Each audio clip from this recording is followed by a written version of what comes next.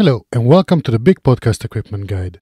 This is a small series of videos where I will explain what devices you will need to record a podcast if you want to have 1, 2, 3, 4, 5, 6, 7, 8, or up to 10 participants, including up to 4 remote guests over the phone, or Skype, or Zoom. I will also explain how to set up phone interviews on various devices using the much feared Mix Minus. Let's get on with it.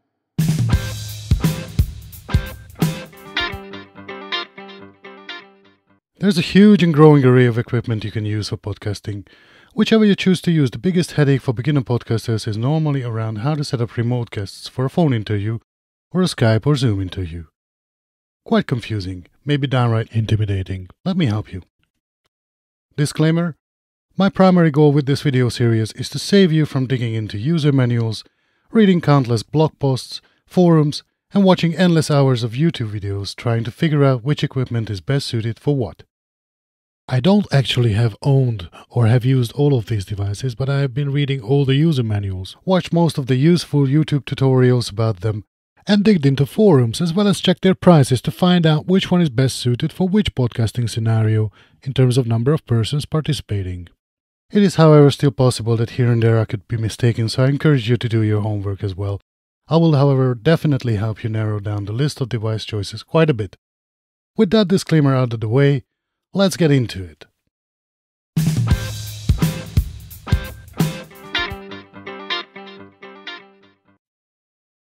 What I'm about to explain in this video is how to set up Mix Minus for interviewing someone over the phone or Skype on the Focusrite Scarlett 4i4. But not only that, we'll also compare it to its bigger brother, the 8i6. Before I do that, however, let's quickly remind ourselves on what is a Mix To record a remote interview for your podcast, the single most important term that you'll need to familiarize yourself with is mix minus. As a quick reminder on what is a mix minus, when recording a phone interview, you are not actually speaking into your phone, but into a microphone.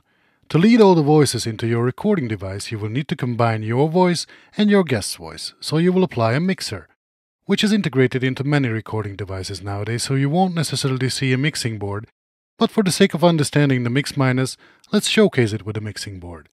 Your voice goes into the mixer. The voice of your guest from the phone also goes into the mixer. What a mixer does is that it combines everything that goes into it and creates a single stereo track of them so that you can record and also monitor everything. However, your guest at the moment hears nothing, as again, you are not talking into the phone but into the mic. So you need to route your voice back into the phone for the guest to hear you.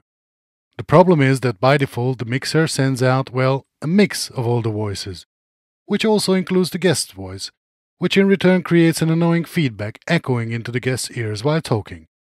So you'll need to remove their voice from the mix that is sent back to them. In other words, what they will receive is the full mix minus their own voice, and that is mix minus.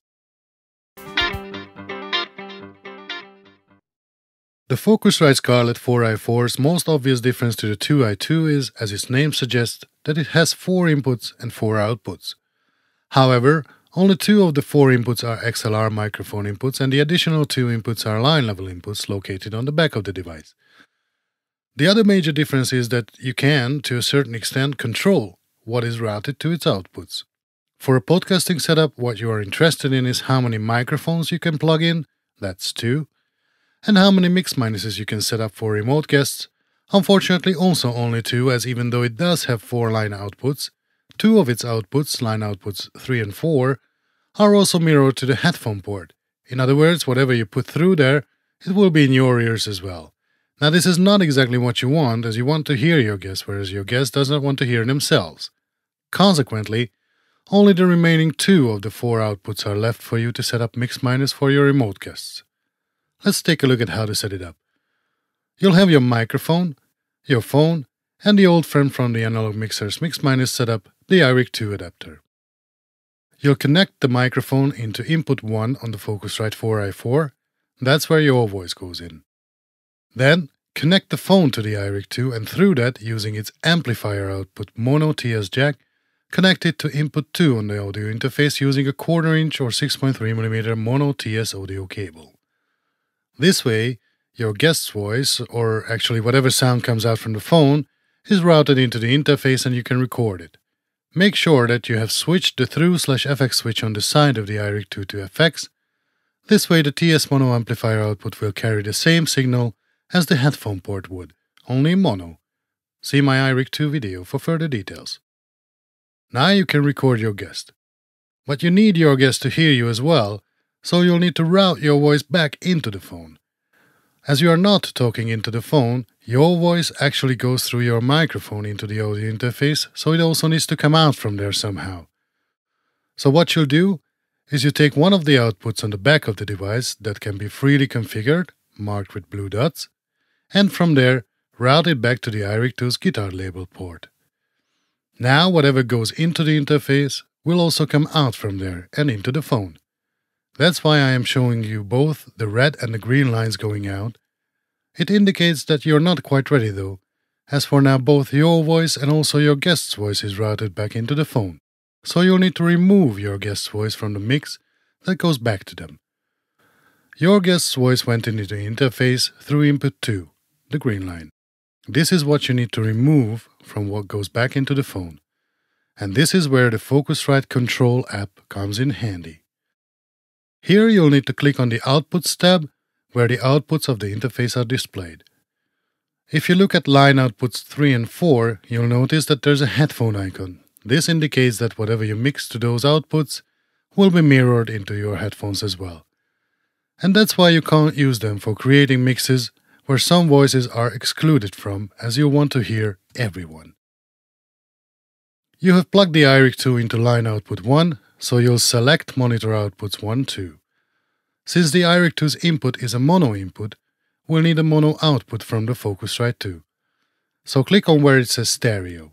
What it does is that it'll switch it to mono, and then you can configure both outputs 1 and 2 individually.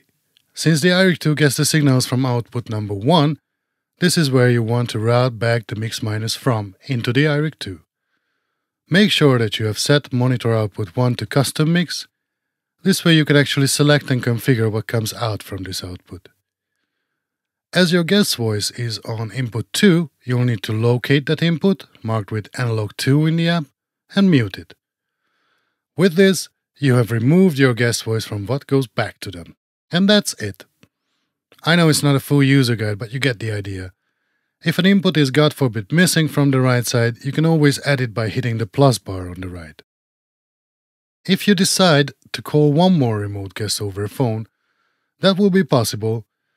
You'll just need another iRig2, another phone, and you'll do exactly the same setup, only this time your second guest will not be plugged into the front of the 4i4, but to the back, into one of the line inputs.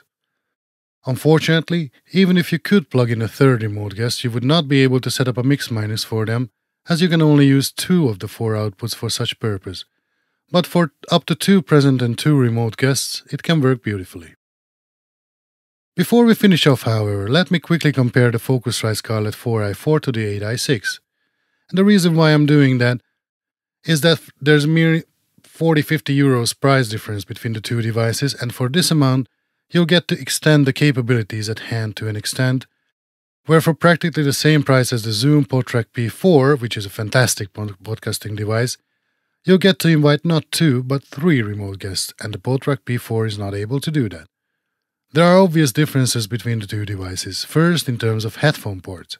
The 8i6 has two of them, which is really convenient, as if you would invite a co host to be present with you, thus occupying both XLR inputs. You won't have to use a splitter or separate headphone amplifier, but you can right off the bat have the headphone output for both of you. Also, the 8i6 has two more line inputs than the 4i4, which I am, as a podcaster, not really interested in unless I'd want to plug in an instrument or an effects board or for some reason anything else. An SPDIF input, uh, if someone is interested in that, maybe for video production more, and an on off switch which is on one hand really welcomed. I like devices that can be switched off and left on the desk plugged in.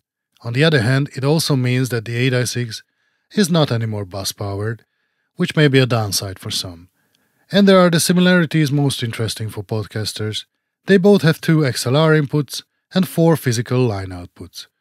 On both devices, you have the software loopback feature, which, along with the custom mix function, enables you to create USB mix minus for Skype or Zoom calls from your computer.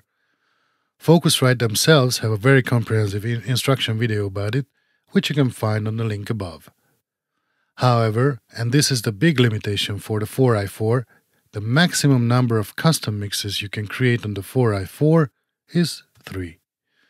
And one of them is your own headphone mix, which goes to yourself and maybe to another person who is present with you.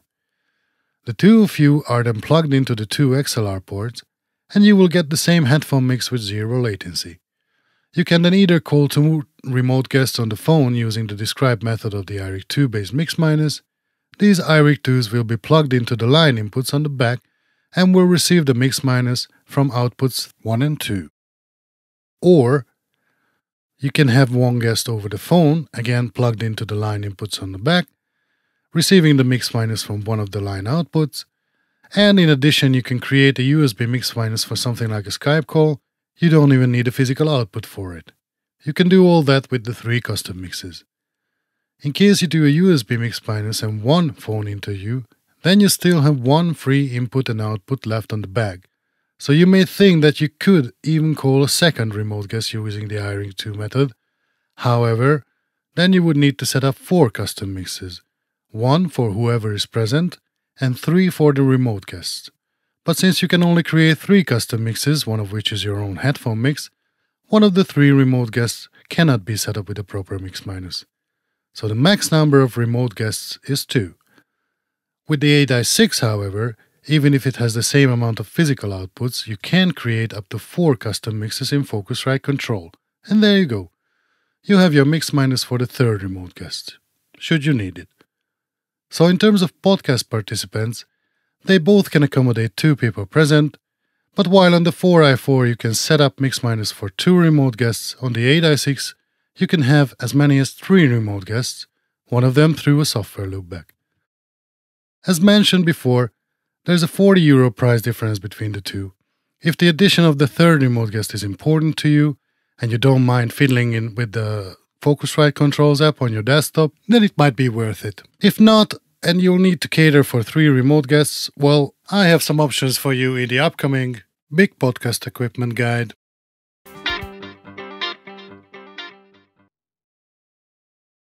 With that, thanks for watching. Please subscribe and hit the bell icon if you want to learn what devices you will need to record a podcast. If you want to have 1, 2, 3, 4, 5, 6, 7, 8, or up to 10 participants, including up to 4 remote guests over the phone or Skype, and learn how to set up phone interviews on various devices with Mix Minus. Take care.